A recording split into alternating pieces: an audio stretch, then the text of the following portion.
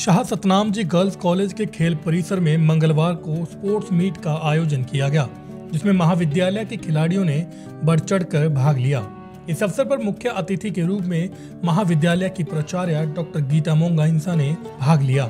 सर्वप्रथम NCC cadet विभिन्न खेलों के खिलाड़ियों ने मार्च पोस्ट निकाला और जिसकी मुख्य अतिथि ने सलामी ली। अंतर्राष्ट्रीय खिलाड़ी सोनिया ने सभी खिलाड़ियों को खेल भावना से खेलने की शपथ दिलवाई।